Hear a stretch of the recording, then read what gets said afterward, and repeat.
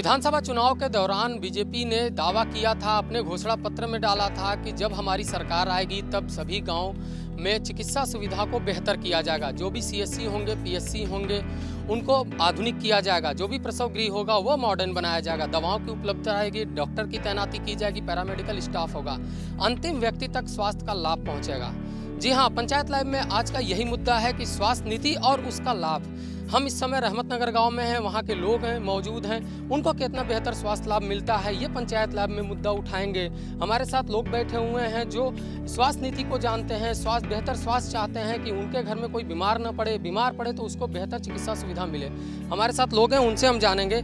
आप बताइए, बीजेपी की सरकार आई तब उसने कहा था कि मॉडर्न सी मॉडर्न पीएससी किसी को दिक्कत नहीं होगी घर घर डॉक्टर जाएगा, इलाज करेगा। आपको क्या लगता है, डेढ़ साल हो गए सरकार को, कितना असर पड़ा इसमें? देखिए इसका कोई असर नहीं पड़ा है। हमारे यहाँ गोसाईगंज में सामुदायिक स्वास्थ्य केंद्र है। इसमें जो है, ना तो ठीक से दवाएँ मिलती हैं, ना तो डॉक्टर उपलब्ध होते हैं। दूसरी बस सबसे बड़ी समस्या है कि यहाँ पे जो प्रसूति महिलाएँ जाती हैं, वो जो अल्ट्रासाउंड चलता है, केवल हफ़्ते में दो दिन चलता है। पर डे का की कहानी ये है कि कम से कम तीस चालीस औरतें पर डे यूँ ही पैदल दौड़ती हैं और प्राइवेट में जो है इलाज अपना करवाती जा करके। यहाँ के डॉक्टर इतना जो है निष्क्रिय हैं कि दवा हर मर्ज की एक दवा देते हैं। और ज़्यादा गंभीर अगर समस्या हुई तो बाहर मेडिकल वाले से इनका कमीशन तय होता है उनको बाहर से दवा लिख देते हैं। अल्ट्रासाउंड मशीन पे जो डॉक्टर बैठते, केवल दो दिन तैनात रहते हैं। हमने कई बार चिट्ठी भी लिखी एसडीएम को लिखा, सीडीओ को भी लिखा, और जो है इनके जो सीएमओ हैं, उनको भी चिट्ठी लिखा, लेकिन आज तक कोई सुधार नहीं हुआ। यहाँ पे जो एक्सरे मशीन लगी हुई है, वो सबसे पुरानी घिसी पिटी मशीन लगी हुई है। इसमें अगर कोई एक्सरे करवाता है तो उसमें कोई मर्ज आती ही नहीं। हमने इस पर भी कई बार लिखा कि इसमें यहाँ पे एक डिजिटल एक्सरे मशीन की व्यवस्था कराई जाए, लेकिन यहाँ के जो स्वास्थ्य प्रभारी अधीक्षक हैं, इस पर कभी गौर ही नहीं किए। दवाइयों के, दवाई जो देते हैं, पैरासीटामॉल और ये जो है छोटी मोटी दवाएँ जो एक्स्ट्रा चलाते हैं, जो बड़ी दवाएँ हैं, वो बाज़ार में बेच देते हैं लोग। यही यहाँ की समस्याएँ हैं। और जितने छोटे छोटे जो है सामुदायिक स्वास्थ्य केंद्र जो जगह जगह गाँव में बने हैं वहाँ तक तो स्टाफ पहुँचता ही नहीं। एनएम जाती ही नहीं सेंटर पे। आखिरकार जो दूर दराज की औरतें हैं, उनको यहाँ सामुदायिक स्वास्थ्य केंद्र दौड़ना पड़ता है। कई सेंटर कम से कम 20-25 सेंटर यहाँ पे हुसैनगंज विकास खंड में बने हुए हैं। लेकिन सब पे स्टाफ नदारत है, वहाँ पे दवाई भी नहीं है और ना वहाँ पे कोई सुविधा मिलती है उनको। आप बताइए, आप बुज़ुर्ग हैं, आपकी तबीयत अक्सर खराब रहती होगी। जो सरकार ने दावा किया था कि अंतिम व्यक्ति तक चिकित्सा सुविधा पहुँचाएँगे। आप कितने संतुष्ट हैं डॉक्टर आपके घर आते हैं? हमारे उमत कबो नहीं जाते तो न मालूम कितना पैसा लगा देने का तमाम इलाज कभी तबीयत खराब होती है तो आप पहले कहाँ जाते हैं? सरकारी जाते हैं या प्राइवेट? सरकारी में देखा जा रहा हुआ नहीं कोनो फ़ायदा हो जहाँ ऐसे गए ना हुआ सब तीन तीन ऑपरेशन बोल दी कहूँ कुछ नहीं भवा। लौट के हमारे साले आए उठा ले अपने हुआ हुआ देख लेना ऑपरेशन भवा न कुछ। कुछ नहीं बहुत ठीक हो गया आप बताइए कि सरकार ने दावा किया था कि हर घर में डॉक्टर जाएगा एएनएम जाएगी, नर्स जाएँगी, जो जो भी बीमार होगा, उनको जागरूक करेंगे। अगर उनकी तबीयत ज़्यादा खराब है तो उनको पीएससी या सीएससी ले जाया जाएगा। ऐसा कुछ देखने को मिलता है? आपके गाँव में कोई डॉक्टर आया? कभी हमारे गाँव ऐसा कोई डॉक्टर नहीं आया। कोई डॉक्टर नहीं आया, दवा, बहुत सरकारी अस्पताल में जाते हैं आने तो वहाँ दवा गड़बड़ देते, फ़ायदे ही नहीं करता। सरकार ने कहा था कि अंतिम व्यक्ति तक चिकित्सा सुविधा पहुंचाएँगे, जो भी इलाज होगा वो सरकारी अस्पताल में होगा, उसका मुफ़्त इलाज होगा। हमारे साथ कुछ लोग और हैं, उनसे हम जानते हैं। आप बताइए, आपके यहाँ कोई डॉक्टर आता है? आप चिकित्सा सुविधा से कितने संतुष्ट हैं? कोई डॉक्टर नहीं आता ना कोई सुविधा है। इतना दुनिया परेशान है, पब्लिक की हद खत्म है। आप गाँव में जाके भी मालूम कर लो, कोई डॉक्टर भी नहीं आता, ना दवा, न पानी, कुछ भी नहीं। सरकार ने तमाम योजनाएँ चलाई हैं किसी योजना को बताने के लिए कोई अधिकारी कभी पहुँचा है? कोई अधिकारी नहीं आता है। कोई आता नहीं। कि इसे कहा बता दिए?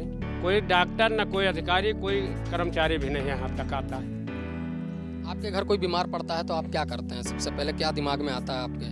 दिमाग में सर यही आता है कि सरकारी स्वास्थ्य केंद्र में ले जाएँ इलाज करवाएँ। मगर वहाँ कायदे से कोई इलाज नहीं होता है। और जैसे औरतों को ले जाया जाता है वहाँ जो सरकारी में जो एक्स्ट्रासाउंड होते हैं उसके लिए फ्री होते हैं। मगर वहाँ भी सौ रुपये पचास रुपये लेकर तब करते हैं। बाकी जो औरतें हैं वो लाइन में लगे रहते हैं उनसे कहते हैं कि आज नहीं कल आना कल नहीं परसों आना। वो चक्कर वहाँ के काटते रहते हैं। सरकार कहती है कि हम सभी गाँव में एक चिकित्सा शिविर लगाते हैं कैंप लगाते हैं हेल्थ चेकअप होता है गाँव में। आपके गाँव में बीजेपी की जब सरकार आई उसके बाद कितनी बार हेल्थ कैंप लगा एक बार भी नहीं हुआ। एक बार भी नहीं हुआ सर।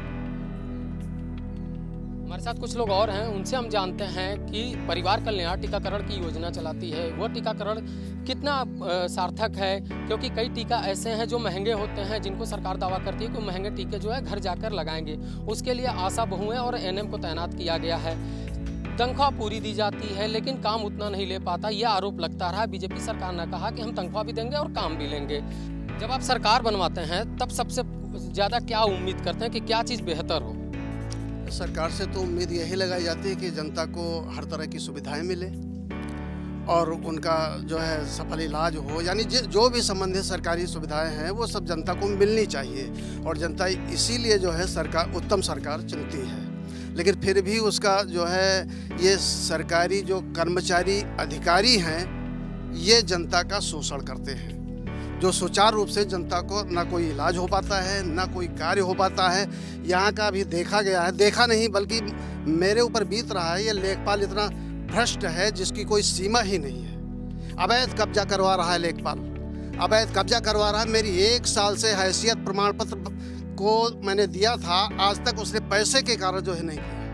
अच्छा चिकित्सा सुविधा पे भी बीजेपी ने दावा किया था कि अंतिम व्यक्ति तक बेहतर चिकित्सा सुविधा लाएँगे, डॉक्टरों की तैनाती होगी, पैरामेडिकल स्टाफ होगा अस्पताल में दवा होगा। आपको कितनी, इतनी सच्चाई दिखी?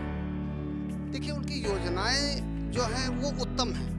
लेकिन अधिकारी और कर्मचारियों की वजह से जो है, वो उचित लाभ जनता को नहीं मिल अधिकारी और कर्मचारियों की वजह से। सरकार तो सख्त है और होना चाहिए। शासन जो है इसी तरह होना चाहिए। लेकिन उसका दुरुपयोग हो रहा है। सरकारी एहलकार जो है, वो जो है, जनता को सुविधा नहीं देने रहे हैं। इसलिए कि उनको मनी राम से भेंट नहीं हो रही। उनको पैसा चाहिए। हम सौ रुपए दें तो मेरा काम होना चाहिए। मेरा काम होगा। लेकिन नहीं, अगर पैसा मेरे पास नहीं, गरीब जनता के पास पैसा नहीं है तो उसका काम नहीं होगा। लैट्रिन बन रही है। पीला ईंटा लग रहा है। क्यों? सरकार पीला ईंटा पैसा दे रही है। मानक के हिसाब से मसाला नहीं बन रहा।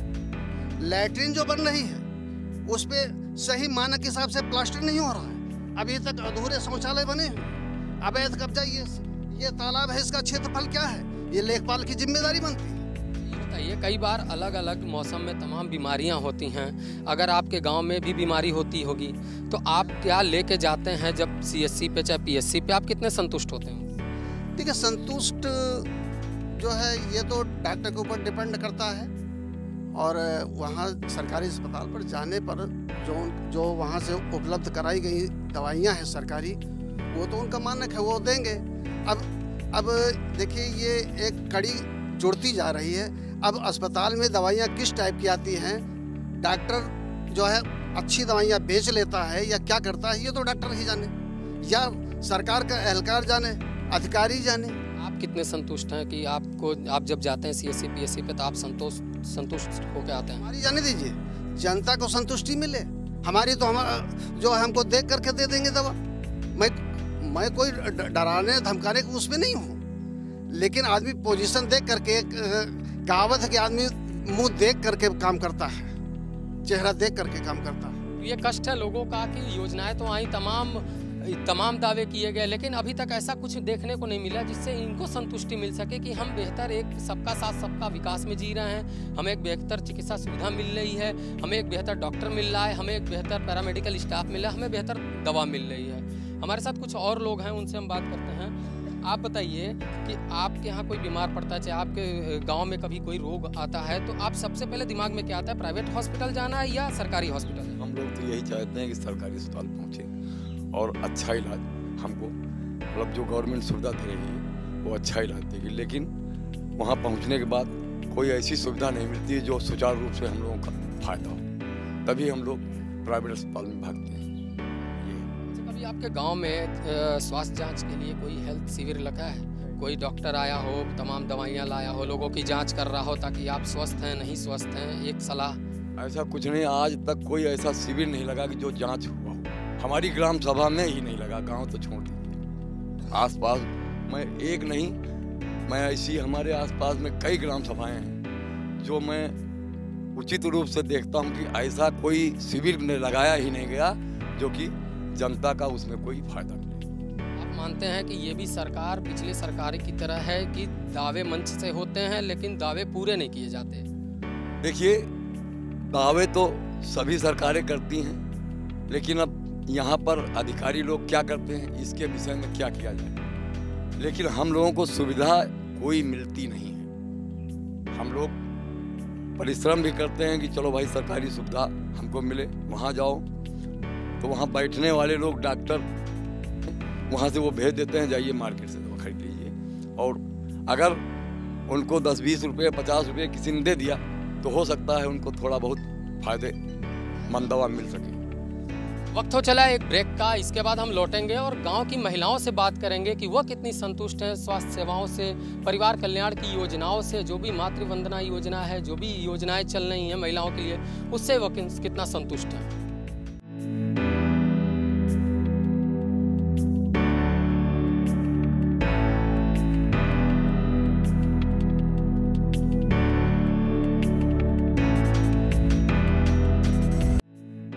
पंचायत लाइव में हम बात कर रहे हैं स्वास्थ्य सुविधाओं की। गाँव गाँव चिकित्सा सुविधा कितनी पहुँची, कितने दावों पे काम हुआ, कितने जो भी योजनाएँ आई, उन पे काम हुआ।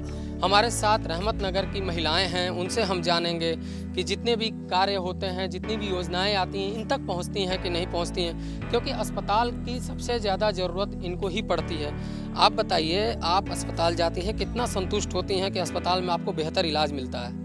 हमका कुछ बेहतर इलाज नहीं मिलता। हम वो दिन सरकारी अस्पताल दवा लिए गए सब हमारे पेट में दाना पड़ गया सब छाला अंदर पड़ गए। फिर प्राइवेट में गए हैं तो दवा लिए नहीं जाए तो, तो कुछ आराम है। गुआढ़ में जलन बहुत रहा है। डॉक्टर से क्या सलाह कुछ हुई? आपने कभी बताया कि हम ठीक नहीं हो पा रहे हैं? चाहे आपको लगा कि हमारे पास ऐसी सुविधा है कि हम ठीक हो जाएँगे? डॉक्टर भी बताओ कि तुम्हारी इलाज है कि जब देखो तुम दवाई लिए तो जमा जो जमा न निकली दवाई न लिए तुमको देखे हैं? दवा हमारे जो जमा न निक रही तो दवा न लिए का तुम कहीं सूरत देखे आप बताइए आपके घर कोई बीमार पड़ता है तो आप सरकारी अस्पताल जाती हैं या प्राइवेट? तो साहब प्राइवेट से लई थे दवा। हमका सरकारी कोई फ़ायदे नहीं करत। सरकारी सरकारी में कोई नहीं फ़ायदा करत। आप जाती हैं वहाँ पे तो क्या कुछ देखने को मिलता है? दवा नहीं मिलता है या डॉक्टर नहीं मिलता है या सही से इलाज नहीं होता? कोई साहब फ़ायदे ने पर्चा लिख दे है ना कोई दवा दे है ना कोई कुछ बताई है ना कोई कुछ बोली है। तो वहाँ का करे जी वहाँ दवा? जो कोई सुविधा नहीं देते हैं तो वहाँ पर्चा लेके का घूमी? कोई सुनवाई नहीं करते। ना कोई हमारे लोगन की सुने तो हम नहीं जाते हैं सरकारी हम प्राइवेट से ले थे। गाँव में प्रसव की कई मामले आते हैं और प्रसव प्राइवेट में भी कराया जाता है लेकिन सरकारी में जो दावे किए गए थे कि प्रसव की जो सुविधा होगी वो बेहतर होगी वो जानेंगे। आप बताइए जितने भी बच्चे जन्मते हैं जहाँ प्रसव होता है गाँव के लोग ज़्यादातर किस पे डिपेंड होते हैं सरकारी पे या प्राइवेट पे? सरकारी पे जी। आप जहाँ जाती हैं प्रसव कराने क्या संतुष्ट हैं वहाँ के जितने भी कार्य होते हैं? जैसे भी मॉडर्न कहा गया है कि मॉडर्न प्रसव कक्ष बनाया जाएगा। अब गरीब आदमी गया कि सरकारी में हमको हेल्प मिलेगा वहीं भी चूसते हज़ार दो हज़ार वहाँ खर्चा करिए। कि क्या आपके यहाँ टीकाकरण अभियान चलता है? बच्चों को टीका लगाया जाता है। कितने लोग आते हैं? सेंटर में उतनी लगा हुआ एक जनी होती है लगा के चली जाती है। दवाई वही तो कोई डॉक्टर साहब देती वेती नहीं है। अब हम पचे दवाई तो सरकारी प्राइवेट और पर, पर, परेशानी है गोड़न हाथन में। जाओ सरकारी डॉक्टर लौट आओ कहीं दवाई नहीं मिली यो नहीं मिली वो नहीं मिली बच्चे लौटे। बस प्राइवेट में कराई था। प्रसव के दौरान एक योजना चलती है कि जितने भी प्रसव होंगे उनको पैसा दिया जाएगा सरकारी अस्पताल में। आप लोग को मिला कभी? मुझे भाई, भाई साहब बहू का मिला जो बच्चा वहाँ हुआ था। अब अब की तो ले गए रहने अल्ट्रासाउंड जाँच कराने। तो प्राइवेट कराए हैं कहीं इनकी मशीन नहीं ठीक है और यहाँ नहीं हो पाएगा। जब आपने वोट डाला था विधानसभा चुनाव में तब दिमाग में क्या आया था कि हमको बेहतर बिजली पानी सड़क चिकित्सा सुविधा मिली। चिकित्सा सुविधा में कोई बदलाव देखने को मिला पहले की तुलना में? हाँ कुछ नहीं। कुछ नहीं भाई साहब। अभी डॉक्टर आपके घर पे आए पूछने कि आप कैसी हैं आपका स्वास्थ्य कैसा है? नहीं नहीं। नहीं कुछ नहीं ये सच्चाई है कि डॉक्टर घर घर तक नहीं पहुँच पा रहे हैं, जबकि मंच से सभी नेता, सभी अधिकारी दावा करते हैं कि आयुष आपके द्वार है, स्वास्थ्य चिकित्सा आपके द्वार है, परिवार कल्याण आपके द्वार है। हमारे साथ कुछ और महिलाएँ हैं, उनसे हम जानते हैं। आप बताइए, आप एक अस्पताल में जाती हैं जब सरकारी तो क्या सोच के जाती हैं? भैया अब का बताए, सरकारी अस्पताल में जाओ तो पता चला दवाई दी तो कोई फ़ायदा ही नहीं। तो मतलब जैसे फ़ायदा नहीं है तो यहाँ हुआ तो भाई, चलो को वहाँ दिखाई। तो हुआ जाओ तो हुआ तो खैर भाई पैसा लगाई हो तो फ़ायदा हो ज़रूर। और सरकारी दवा अस्पताल में जाओ, पैसा ना लगाई हो तो फ़ायदा नहीं को नहीं बस यहाँ है मतलब कोई बात नहीं। और यहाँ कोई डॉक्टर होता ही नहीं। और डॉक्टर का ही जो हमें आशा बहू, यही कबो कबो होती हैं तो कहूँ काहे को दवाई, कहूँ काहे दवाई दई दिन चली गई। कभी किसी योजना के बारे में उन्होंने आपसे बात की? किसी भी योजना के बारे में, किसी भी योजना को बताइए जो सरकारी योजना हो, जो महिलाओं के लिए लाया गया स्वास्थ्य में। मतलब लिखा वाला तो यहाँ लिखिन ना जानो कि आई रहा है तो कि लड़कन का लिखिन ना जानो। और तो नहीं आई भैया, हम झूठ का कहे, हमारे सामने नहीं आएँगे हम घर पर ना रहना। बताइए आप गाँव में बहुत दिन से रह रही हैं कोई भी महिला आकर आपको ये बताई कि सरकारी योजना क्या है? कि कबो कोई से पता लगा लें कि हम यहाँ आज हम दवा बांट रहे हैं कि कोई का जाँच कर रहे हैं कि कबो डॉक्टर नहीं आए। हाँ कबो नहीं आए। कुल मिलाकर जितनी भी योजना है उसमें से एक भी योजना का नाम इन महिलाओं को नहीं मालूम है। जबकि तमाम योजनाएँ हैं जिसमें महिलाओं को पैसा भी दिया जाता है, सहानुभूति भी दी जाती है, दवा फ्री दिया जाता है, जाँच फ्री दिया जाता है। लेकिन ये सिर्फ़ कागजों में है, या तो शहरों तक ही सीमित होकर रह गया है। हमारे साथ कुछ और लोग हैं जो रहमत नगर गाँव के हैं, उनसे हम बात करते हैं। आप बताइए, आप इतने दिन से गाँव में रह रहे हैं, किसी एक योजना का नाम बताइए जो सरकारी योजना आपको बताएगी। अरे, बताया ही नहीं जाता, यहाँ कौन सी योजना आ रही है कौन सी नहीं आ रही। यहाँ के डॉक्टर हैं, आशा बहू है। और इसके अलावा ग्राम विकास अधिकारी जो होते हैं, सचिव। मतलब इस विषय पे कोई ऐसा अधिकारी या कर्मचारी कोई ऐसा बात नहीं बताता है ऐसी कि आपको इस योजना से लाभ मिलेगा। आज तक अभी किसी भी ग्राम सभा में दो चार छः ग्राम सभाओं की बात कर रहा हूँ, ये तो मान लीजिए हमारी ग्राम सभा है। ऐसा मैं किसी आदमी या किसी मनुष्य के सुनने में नहीं। यानी कोई ऐसी बात नहीं बताता कि मुझे इस योजना के बारे में बताया गया किसी गाँव में। हम लोग भारतीय किसान यूनियन संगठन चलाते हैं। हम बराबर हर गाँव में जाते हैं। ऐसा नहीं है। लेकिन कोई ऐसा व्यक्ति ये नहीं बताता कि हमें इस योजना के बारे में किसी ने बताया। अधिकारी ने या कर्मचारी या मतलब यहाँ से लेकर के ब्लॉक के जितने भी कर्मचारी हैं ऐसी कोई बात नहीं बताता है जिससे हम हम लोगों को लाभ मिले। आप बताइए आप नवयुवक हैं आपको हमेशा दवा की ज़रूरत पड़ती है या घर वालों को दवा दिलाने जाना पड़ता है? तो कितना अंतर पाते हैं प्राइवेट और सरकारी अस्पताल में? आप सरकारी से बेटर तो प्राइवेट होता है। सरकारी में जाओ कोई आदमी सीरियस बीमार है अदरवाइज़ कुछ भी होता है तो वहाँ पे जाओ। जो सरकारी में जाओ तो डॉक्टर कहता है यहाँ नहीं जाओ वहाँ जाओ वहाँ नहीं जाओ वहाँ जाओ। तो इससे बेटर होता है कि प्राइवेट ही दिखा दो तो ज़्यादा बेटर रहता है। पैसे के लिए पैसा क्या करेगा आदमी है उसके पास बीमार है आदमी तो पैसा चाहे कर्जा लेकर करे, चाहे जिससे वो अपना मरीज़ ठीक करेगा। इससे ज़्यादा कुछ और रहा ये राष्ट्रीय स्वास्थ्य बीमा योजना वाला। ये सर अभी तो चार पाँच दिन पहले आशा हो गया आई थी, गाँव में कुछ फार्म भर के ले गए, पचास रुपये ले गए, ऑनलाइन का इसका फार्म भर के ले गए। मगर इसका भी इलाज कोई पर्याप्त मिलता नहीं है। ये योजनाएँ सिर्फ़ दिखाने के लिए और कार्ड मिल जाएगा, बस इससे ज़्यादा कुछ नहीं होगा। जो यहाँ पे एंबुलेंस आता है, डिलीवरी के लिए ले जाता है। औरतों को तो यहाँ से मेन रोड से रास्ता अंदर तक जाता है, मगर ड्राइवर आता है, वहीं से फ़ोन करता है कि यहाँ से गाड़ी अंदर नहीं जा सकती, बल्कि यहाँ से पूरी गाड़ी वहाँ तक जाती है। आएगी तो उधर से आएगी, मगर बहुत कम आती है। गाँव के बाहर अपने तो मरीज़ को, जो, जिसको डिलीवरी होने वाली है, उसको वहाँ बाहर ले जाओ, वहाँ से उसको फिर अंदर ले जाए कभी टीकाकरण अभियान चलता है, तमाम जो घर घर लोग टीका लगाने आते हैं। गाँव में कितनी बार आते हैं? सर गाँव में तो वही स्वास्थ्य केंद्र है छोटा सा वहीं पे आशा बहुएँ गाँव में सब बता जाती हैं तो औरतें अपना बच्चा लेके वहीं जाती हैं घर घर कोई नहीं आता है। घर में टीके कभी नहीं लगते सर। जब कभी स्वास्थ्य केंद्र पे जाते हैं तो क्या डॉक्टर मौजूद मिलते हैं आपको?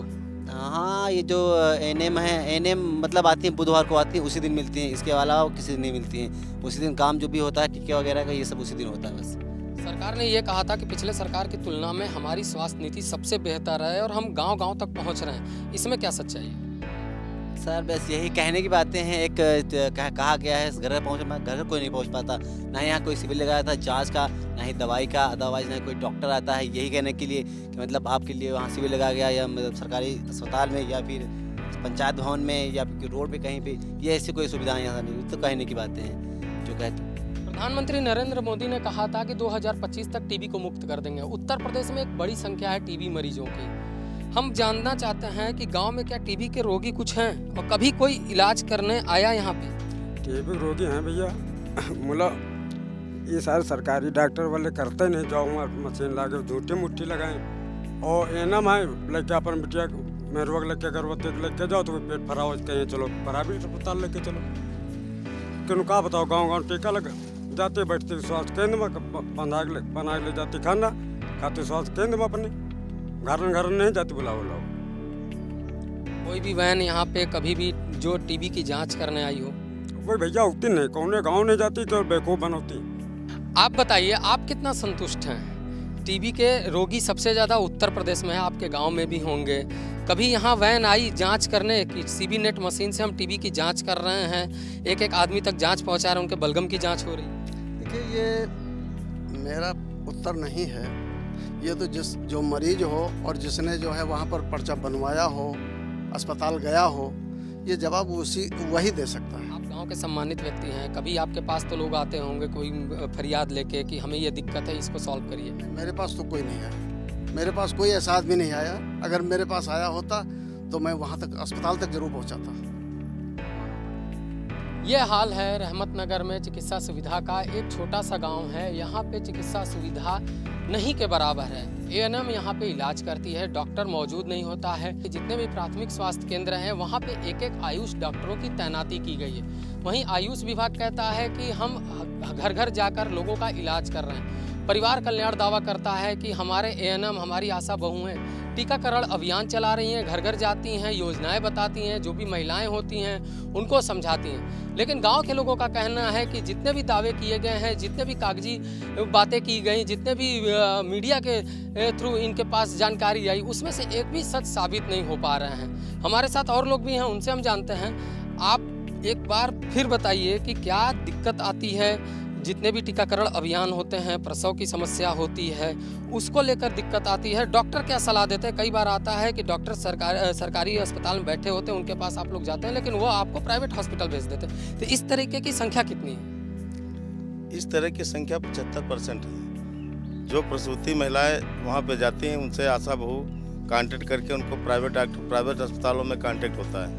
एक कमीशन उनको मिलता है। तो यहाँ सरकारी अस्पताल में जब उनको सुविधा नहीं मिलती तो एक तो वैसे भी महिलाएँ बाहर के लिए जाना पसंद करती हैं। अभी हम बता चुके हैं कि अल्ट्रासाउंड की स्थिति है कि पर डे चालीस पचास औरतें वापस होती हैं। कई बार हम लोगों ने शिकायत की, सीएमओ से भी कहा कि यहाँ का अल्ट्रासाउंड डॉक्टर जो है इसको परमानेंट कर दीजिए। लेकिन दो दिन, हफ़्ते में बैठता, दो दिन में जो होते हैं, वही अल्ट्रासाउंड होते हैं। उसमें भी जो एनएम को या नर्स जो वहाँ है, स्टाफ नर्स उसको अगर दस बीस रुपए दे दिया तो उनका नंबर पहले लग जाता है। बाकी सबको यूँ पैदल भगा दिया जाता है। ये स्थिति है यहाँ की। अगर कोई विरोध करता है तो उसकी बात सुनी नहीं जाती। एक्सरे मशीन जो है बिल्कुल यहाँ पे डिजिटल एक्सरे मशीन लगनी चाहिए। एक्सरे मशीन भी गड़बड़ है। अगर कोई एक्सरा कराता है तो उसमें कोई मर्ज आती ही नहीं। डॉक्टर बाहर भेज देते हैं एक्सरा के लिए। उनका कमीशन तय है। जो प्राइवेट पैथोलॉजी हैं, उन पर भेजते हैं। जबकि किसी यहाँ जितनी पैथोलॉजी हैं वो सब नंबर दो के, की पैथोलॉजी कोई सही जाँच नहीं करती। यहाँ के जो जितने जितने अस्पताल जो बने हुए प्राइवेट में, वो उनका भी कांटेक्ट होता है। मरीजों, मरीज़ जो जाते हैं, उनके जो जाँच होती है, उनकी एक पैथोलॉजी सेटिंग होती है। पैथोलॉजी में जो उनका खून लेने आता है, उससे डॉक्टर से और पैथोलॉजी वालों से तय होता है। अभी एक दिन एक दिन हम हमसे वो बता रहा था जो जाँच करने जाता है। कि भाई साहब, क्या बताएँ, यहाँ पे डॉक्टर हम लोगों से ज़बरदस्ती लिखवाते हैं कि ये मर्ज नहीं, ये मर्ज लिखवा के लेके आओ। उसके अगर टाइफाइड है तो उसको लिखवा के लाते कि इसको कैंसर की कैंसर की जो है रिपोर्ट बना के दो। तो इस तरह जो है मरीज़ मरीजों को लूटा जा रहा है। कमीशन बाजी होती चालीस परसेंट तक प्राइवेट अस्पताल के जो डॉक्टर हैं प्राइवेट नर्सिंग होम खोले हुए हैं। चालीस परसेंट एक व्यक्ति को कमीशन देते हैं और ये काम कमीशन बाजी का करती है, यहाँ की आशा बहू। डॉक्टर इस पर गौर नहीं करते। कई बार हम लोग आशा बहुओं की शिकायत कर चुके हैं। प्राइवेट अस्पतालों में जा करके बता चुके हैं, पकड़वा चुके हैं। लेकिन ले दे के सब वही काम होता है। नीचे से ऊपर तक सब कमीशनबाजी है। ले देकर आपका भी यही कहना है कि जिस तरीके से अन्य सरकारों में काम हुआ उसी तरह की इस सरकार में स्वास्थ्य सुविधा दी जा रही है। उसमें कोई बदलाव देखने को नहीं मिला। बदलाव की तो बात छोड़े हम तो ये कहेंगे कि अन्य सरकारों की अपेक्षा ये बिल्कुल भ्रष्ट सरकार है। इस सर, इस सरकार को कोई भी पब्लिक लाइक ही नहीं करती। केवल पेपरबाजी पेपरों में से ये से ये कर रहे हैं वो कर रहे हैं। इन लोगों के पास केवल जो है मंदिर और मस्जिद, चित्रकूट, अयोध्या, इसके अलावा स्वास्थ्य और जो है, जो जमीनी विवाद यहाँ चलते हैं, घरेलू विवाद चलते हैं, इसके संबंध में कोई अधिकारी सुनता नहीं। कुल मिलाकर ग्रामीणों का दर्द है कि हर बार विधानसभा चुनाव, लोकसभा चुनाव में एक अच्छी सरकार चुनने के लिए एक स्वस्थ मन से ये वोट देते हैं, ताकि वो बेहतर सुविधा उपलब्ध कराएँ, चाहे वो बिजली का हो, चाहे सड़क का हो, चाहे पानी का हो, चाहे स्वास्थ्य का हो। स्वास्थ्य के लिए तो बीजेपी ने तमाम दावे किए, तमाम वादे भी किए, तमाम योजनाएँ भी चलाई, तमाम योजनाओं को लेकर बड़े बड़े मंच पर भाषण भी दिए गए। लेकिन वह भाषण मंच तक ही सीमित रह गए। अधिकारियों ने उस पर कोई भी अमल नहीं किया, न ही सतर्कता दिखाई कि गांव-गांव जाकर वो लोगों को योजनाओं से रूबरू कराएँ। इस तरह का दर्द और भी गाँव में है, लेकिन रहमत नगर का ये दर्द सरकार को सोचने के लिए सवाल खड़ी करती है कि इस तरह का दर्द और गाँवों में न हो, और अभी डेढ़ साल की सरकार हुई है साढ़े तीन साल का कार्यकाल बचा हुआ है, उस कार्यकाल में ऐसा कुछ कर दिखाएँ कि ये लोग अगली बार ये कहते हुए सुने कि हमारे प्रदेश में सबसे बेहतर स्वास्थ्य चिकित्सा सुविधाएँ मिलती हैं। वीडियो जर्नलिस्ट पवन के साथ कुमार लाइव टुडे लखनऊ।